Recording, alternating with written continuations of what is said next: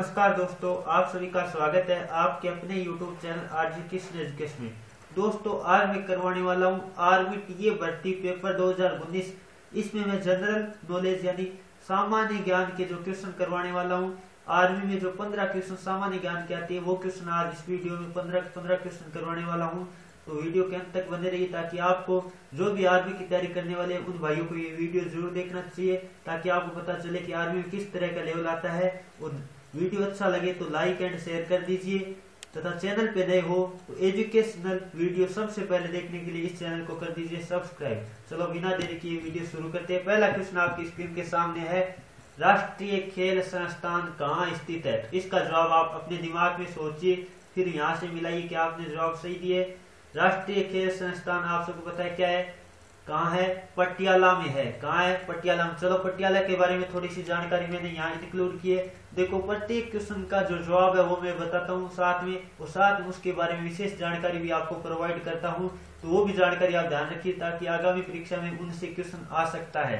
चलो देख लेते क्या होगा इसका जवाब? पटियाला होगा। अब पटियाला के बारे में मैंने यहाँ जानकारी इंक्लूड की है। नेताजी सुभाष राष्ट्रीय क्रीडा संस्थान पटियाला में स्थित है। यानी जो राष्ट्रीय खेल संस्थान है वो कहाँ है? पटियाला में है, और नेताजी सुभाष राष्ट्रीय क्रीडा संस्थान है। यानी इसका नेताजी सुभाष चंद्र के नाम पे डाला गया एशिया का सबसे बड़ा खेल संस्थान है, जो कि एशिया का केवल भारत का नहीं, बल्कि एशिया का ही सबसे बड़ा खेल संस्थान है। ये भारतीय खेल प्राधिकरण का शैक्षणिक संस्थान है। पहले इसका नाम राष्ट्रीय खेल संस्थान था। तो यही बात इस क्वेश्चन में आपको जवाब मांगा था कि राष्ट्रीय खेल संस्थान कहाँ है। इसका पहले नाम राष्ट्रीय खेल संस्थान था, जबकि अब नेताजी सुभाष राष्ट्रीय क्रीडा संस्थान है। ठीक है, ये ध्यान रखना आपको। यह संस्थान दो सौ अड़सठ एकड़ के क्षेत्र में बना हुआ है। इस संस्थान में शैक्षणिक कार्यक्रमों तथा खेल प्रशिक्षण की विशाल सुविधाएँ हैं तथा विद्यार्थियों, राष्ट्रीय खिलाड़ियों तथा प्रशिक्षकों को सुविधाजनक ठहराने के लिए चार छात्रावास भी है ये भी आपको ध्यान रखना है। राष्ट्रीय क्रीडा संस्थान है, वहाँ चार क्या है? छात्रावास है संस्थान में 115 कमरे हैं जिनमें कार्यालय, पुस्तकालय, संग्रहालय, क्लासरूम तथा स्टाफ क्लब बनाए गए। ये आपको विशेष जानकारी पहले क्वेश्चन के संबंध में मैंने प्रोवाइड की है। चलो अब अगले क्वेश्चन की तरफ़ बढ़ते अगला क्वेश्चन आपके आया था।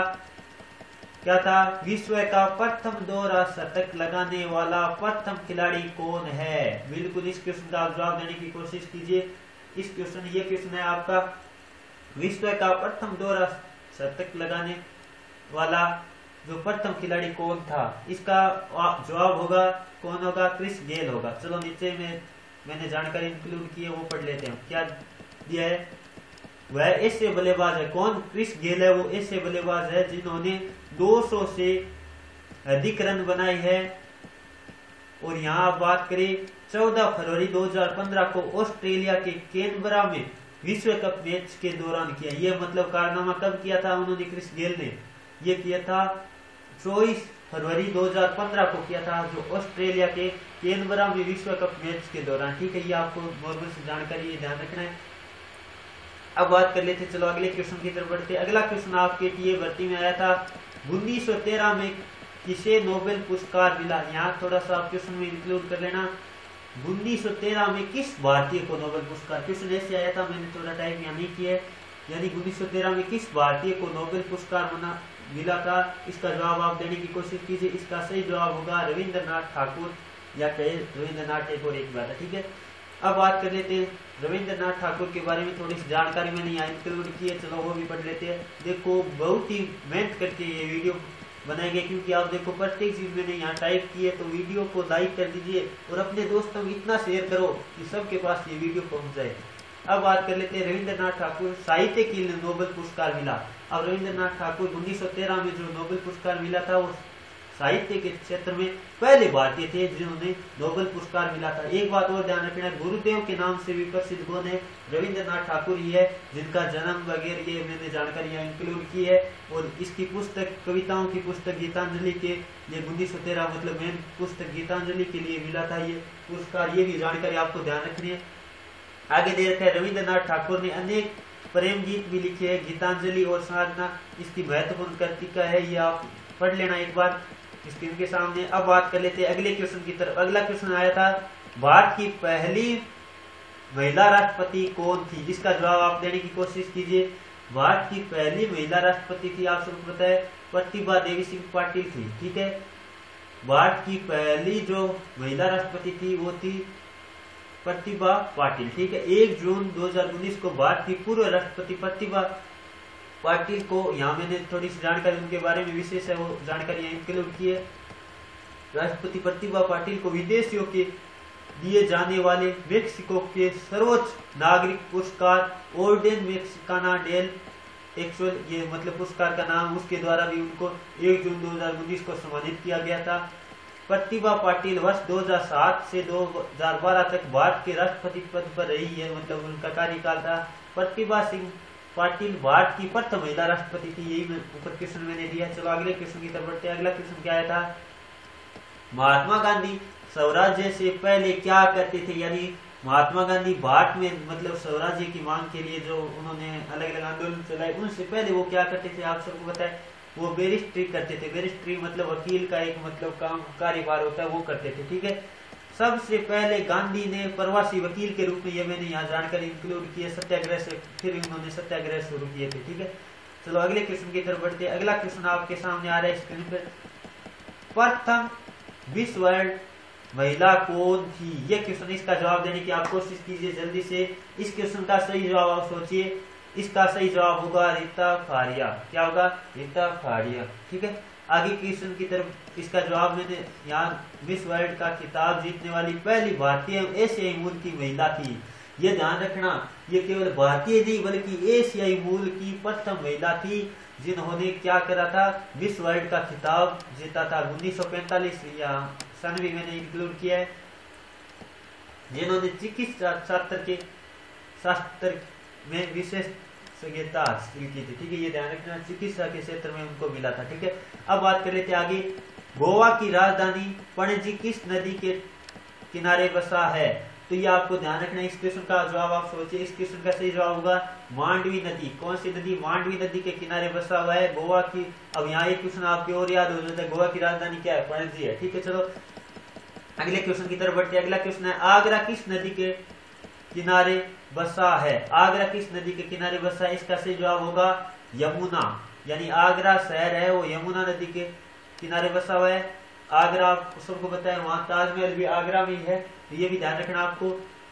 काफ़ी सारे क्वेश्चन में साथ साथ में बता रहा हूँ, मैं कराऊँगा आपको पंद्रह क्वेश्चन लेकिन आपके साथ साथ कम से कम पचास क्वेश्चन आपके कवर हो जाएँगे इस वीडियो में। तो वीडियो के अंत तक बने रहिए।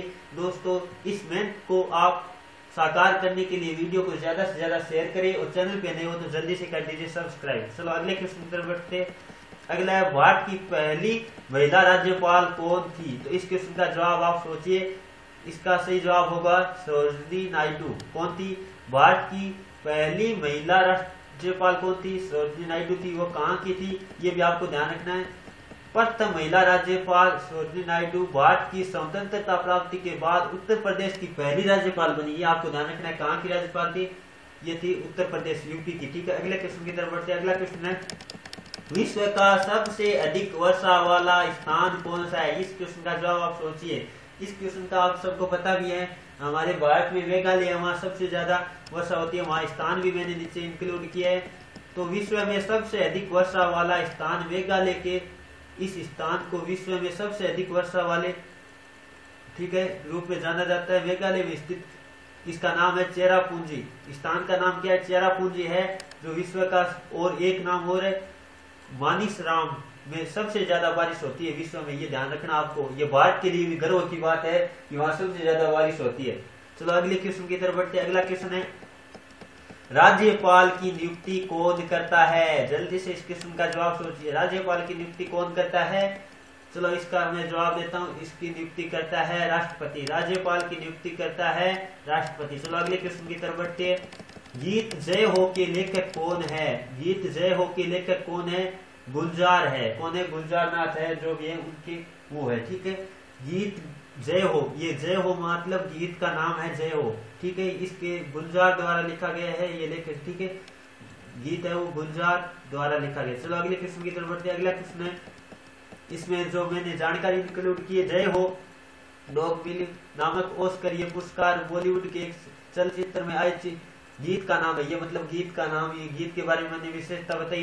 ये गीत गुलजार द्वारा लिखा गया है। गीत का संगीत रहमान ने किया, ये ध्यान रखना। जो जय हो गीत का है, उसका संगीत किसने किया है?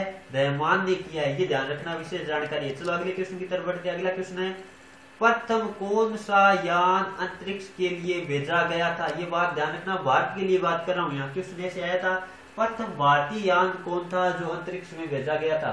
विश्व के लिए अलग ध्यान रखना है। जबकि यहाँ क्वेश्चन आपके टीए भर्ती में आया था, वो आया था भारत के लिए। ठीक है तो भारत का यान है एस एल वी थ्री है। एस एल वी थ्री है, ये ए नंबर ऑप्शन वाला आपका सही होगा। चलो अगले क्वेश्चन की तरफ़ बढ़ते हैं। अगला क्वेश्चन है, इनमें से कौन सा शहर गंगा नदी के किनारे स्थित नहीं है? ध्यान से पढ़ो, क्वेश्चन क्या है? इनमें से कौन सा शहर गंगा नदी के किनारे स्थित नहीं है? तो आप सबको दिख रहा होगा आगरा है। आप सबको पता है आगरा किस नदी के किनारे है? यमुना नदी के किनारे। बाकी तीनों शहर आपको दिखाई दे रहे हैं। वो गंगा नदी के किनारे, जबकि आगरा है, वो यमुना नदी के किनारे बसा है। तो ये ध्यान रखना है क्वेश्चन और याद हो गया आपके साथ में।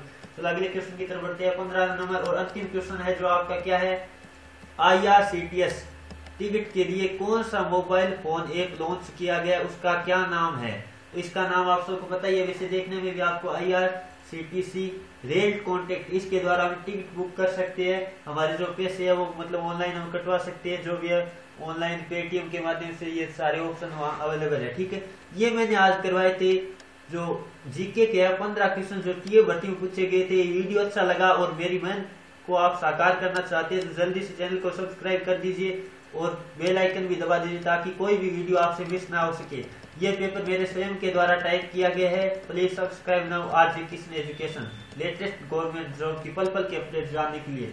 चलो दोस्तों, आज की वीडियो में इतना ही। Thank you for watching